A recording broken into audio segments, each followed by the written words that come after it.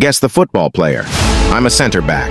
I've played with Christian Pulisic, Marek Hamsik, and Adama Traore.